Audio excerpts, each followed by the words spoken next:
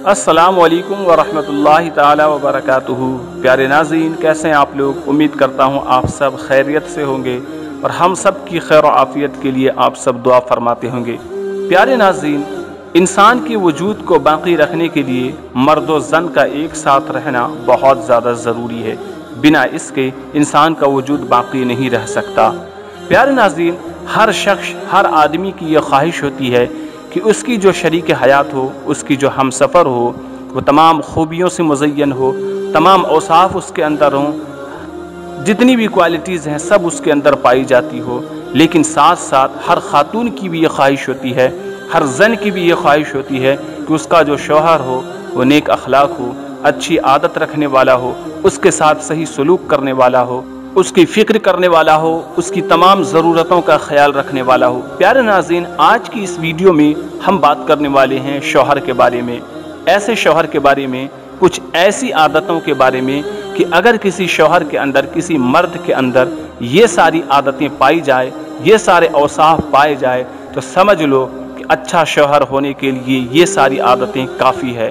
جیسے کہ میں نے پچھلے ابھی ایک ویڈیو بنائی تھی کہ اگر کسی بیوی کے اندر یہ بارہ عادتیں پائی جاتی ہو تو سمجھ لو کہ وہ اچھی بیوی، نیک بیوی بننے کے لائق ہے۔ مگر آج کی ویڈیو میں ہم بات کرنے والے ہیں کہ شوہر کے اندر کیا کیا اوصاف ہونے چاہیے کیا کیا خوبیاں ہونی چاہیے۔ اور اگر یہ ساری خوبیاں شوہر میں پائی جاتی ہے تو سمجھ لو کہ وہ اچھا نیک، پاک دامن شوہر ہے۔ تو چلیے آج کا ویڈیو شروع کرتے ہیں، لیکن اس سے پہلے آپ سے ایک چھوٹی سی گزارش کریں گے کہ چینل پہ اگر آپ نئے ہیں، تو چینل کو جلدی سے سبسکرائب کر کے بیل نوٹیفیکیشن کو دبا کر اس چینل کو رکھ لیجیے۔ اور اس ویڈیو کو آپ دل سے ایک لائک کر کے زیادہ سے زیادہ اپنے دوست و احباب تک پہنچانے کی کوشش کیجیے پیارے ناظرین، اس طرح کی بہت ساری ویڈیوز ہم روزانہ اس چینل پر لے کر آتے رہتے ہیں۔ تو چلیے، آج کا ویڈیو شروع کرتے ہیں۔ یہاں پر کچھ عادتیں میں آپ کو بتا رہا ہوں کہ شوہر کے اندر یہ ساری عادتیں اگر پائی جائے تو سمجھ لیجیے کہ وہ نیک اخلاق ہے۔ نمبر ایک، جو اپنی بیوی کے ساتھ نرمی، خوش اخلاقی اور حسن سلوک کے ساتھ پیش آئے۔ یہ ساری عادتیں اگر کسی شوہر کے اندر پائی جاتی ہے، تو سمجھ لیں کہ وہ بہتر سے بہتر ہے۔ نمبر دو، جو اپنی بیوی کے حقوق ادا کرنے میں کسی قسم کی غفلت اور کوتاہی نہ کرے۔ نمبر تین، جو اپنی بیوی کا اس طرح ہو کر رہے کہ کسی اجنبی عورت پر نگاہ نہ ڈالے۔ نمبر چار، جو اپنی بیوی کو اپنے عیش و عشرت میں برابر کا حصہ دار سمجھے۔ نمبر پانچ، جو اپنی بیوی پر کبھی ظلم اور کسی قسم کی بھی زیادتی نہ کرے۔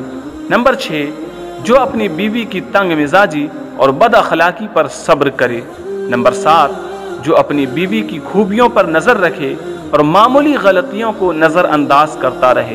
نمبر آٹھ، جو اپنی بیوی کی مصیبتوں، بیماریوں اور رنج و غب میں ہر طرح کی دلجوئی کرے اور وفاداری کا ثبوت دے۔ نمبر نو، جو اپنی بیوی کو پردے میں رکھ کر عزت و آبرو کی حفاظت کرے۔ نمبر دس جو اپنی بیوی کو ذلت و رسوائی سے بچائے رکھے۔ نمبر گیارہ، جو اپنی بیوی کو دینداری کی تاکید کرتا رہے اور شریعت کی راہ پر چلنے کا اس کو حکم دے۔ نمبر بارہ، جو اپنی بیوی کے اخراجات یعنی خرچے یعنی اس کے خرچے میں بخیلی اور کنجوسی نہ کرے۔ نمبر تیرہ، جو اپنی بیوی پر اس طرح کنٹرول رکھے کہ وہ کسی برائی کی طرف رخ بھی نہ کر سکے۔ پیارے ناظرین، یہ ساری خصوصیات اگر کسی مرد کے اندر پائی جاتی ہے، یہ سارے اوصاف کسی مرد کے اندر اگر پائے جاتے ہیں، تو سمجھ لیجیے کہ وہ اچھا شوہر بننے کے لائق ہے، وہ نیک شوہر ہے اور پاک دامن ہے۔